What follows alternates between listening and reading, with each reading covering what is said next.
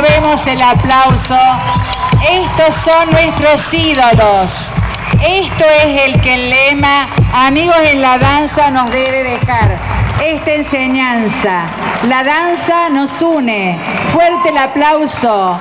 Rubén Jiménez, gracias por todo tu aporte con los chicos de Acercar.